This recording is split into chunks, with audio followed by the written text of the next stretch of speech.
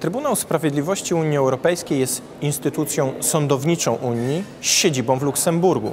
W chwili obecnej składa się z trzech organów sądowniczych: Trybunału Sprawiedliwości, Sądu oraz Sądu do Spraw Służby Publicznej.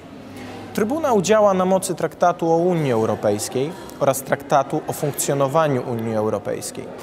Artykuły traktatów pozwalają na tworzenie w jego zakresie sądów wyspecjalizowanych. Takie sądy tworzone są przez Parlament Europejski i Radę Unii Europejskiej.